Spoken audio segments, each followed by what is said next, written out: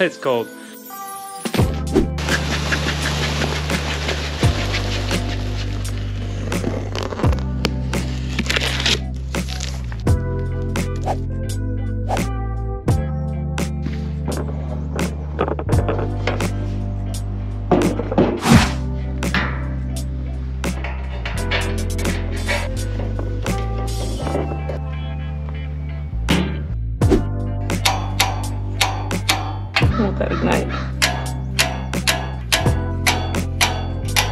Hi guys and welcome to today's task. For today's task, I am doing something a little bit off my normal beaten path. You're gonna enjoy this. For Christmas, I was given this beautiful 22 inch Blackstone grill from my in-laws and I need to get it prepped and ready to use. I was really excited about how simple the setup was. I thought I was gonna be nut and bolting things together all day. I've had grills like that, which that's fine but I thought that's what I was in for. Wasn't at all. It really was a quick setup. But the most useful part is the seasoning of your Blackstone top. Looking at the Blackstone top right now, it's just a nice clean piece of steel. There is a little bit of chemical on there, but we don't want that on there. We are gonna season it with some proper cooking oil, and it requires mostly just time. The only tools we'll need are some flaxseed cooking oil, some tongs and paper towels, and a damp cloth. So I'm gonna take the damp cloth first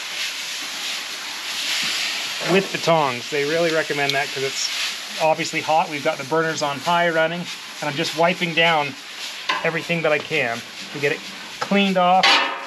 Any excess machining oil, anything like that, we want to get that cleaned off, scraped up and out of there. Cooked rag, anybody? That feels pretty good. Now if you take this into any local spa, they can use it. Give somebody a hot rag. That was a dumb joke. So we've got it clean. You can see the color temperature changing here. This is getting really, really hot and we've got this thing about as hot as it can go.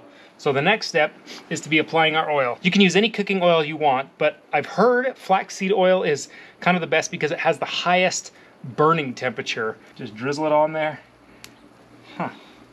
We'll see how level our grill is. That's probably enough. Grab a paper towel, fold it up, get it in your tongs, and start kind of painting it around. As my dad used to say, you're gonna paint the grill.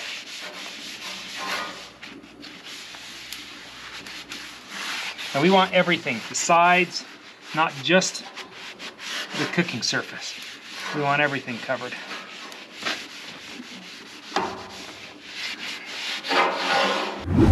Now, we sit for about 10 minutes and let that oil completely smoke off. Hey Siri, set a timer for 10 minutes. 10 minutes starting now. Time to put round two on. Word to the wise, you do need a big propane tank if you're seasoning because it's a lot of time that you're burning fuel and you'd hate to run out in the middle of it and then uh, have a problem later on. So, black seed oil one more time. On the griddle we go. Be pretty generous.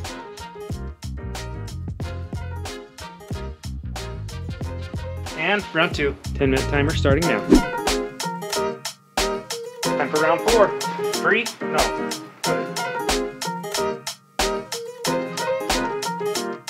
The whole reason you do this is one, so that food doesn't stick to it.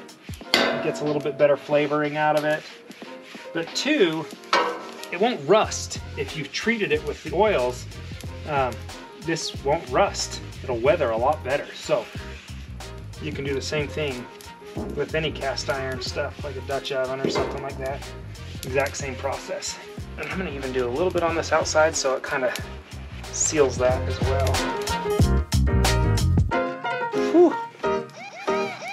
Three. Ready for round four. And I think four is my final round. I plan on staying outside for a while because my clothes are like infused with that burnt oil smell. Like really, really burnt frying oil or something like that. And every time my kids walk by me, they're like, Dad, you stink. So, if you're doing this, I recommend staying outside. And there it is, guys. Just as simple as that. Our Blackstone is now seasoned and ready for cooking. And I'm actually going to make some chopped cheese sandwiches. If you haven't seen what a chopped cheese is, they're a bodega staple in New York.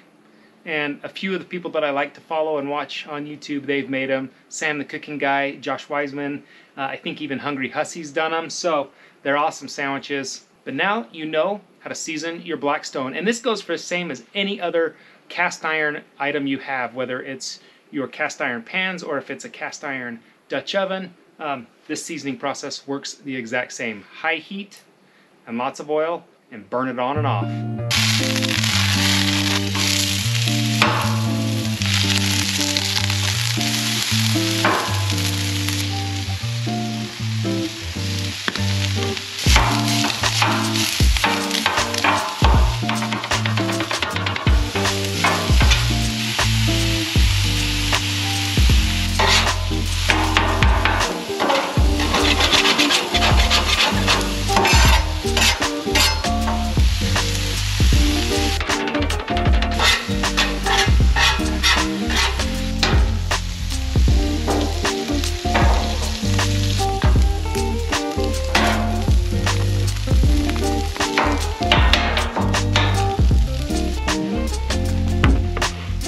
Why are you so interested when I'm cooking outside?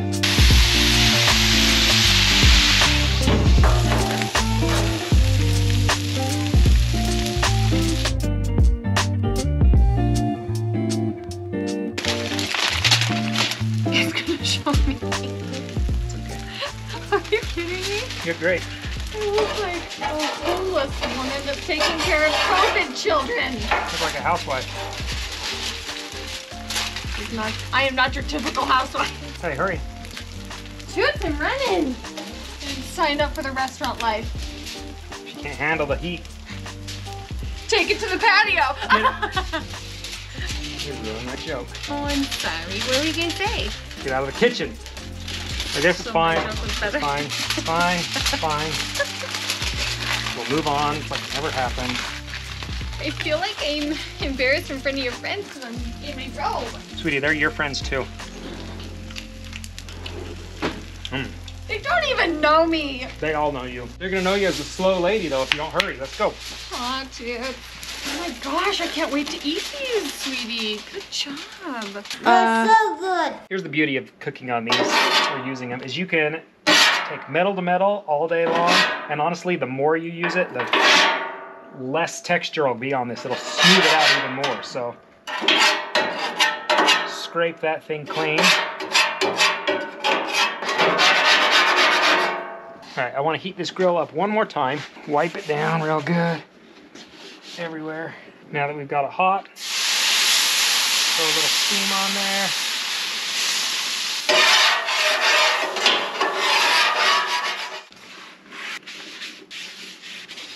You're not done yet, folks. Coat this one more time my oil. This is the key to this, is that every time you put it away, give it another coating of oil. The better care you give them now, the better they'll be every time you go to use it. I'm gonna burn that off one more time. And call it good. You guys, hopefully you learned something in today's video. I know it's a little different than my normal videos, but I'm a big hobbyist of a lot of things. So this is one of my hobbies and one of my joys, and I really wanted to break this guy in before we have uh, some big opportunities coming up to use it.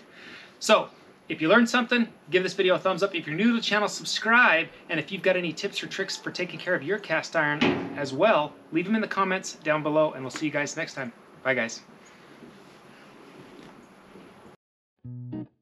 Fingers are cold. What's wrong with me? Hi guys and welcome. Let's turn that light on, maybe that'll help. Give me a little bit of sunshine. I got a light burned out. Huh? Another today's task, I guess. Right now, and if you haven't seen them, they're amazing. They're a, a, a grill, sorry, but they recommend, not they,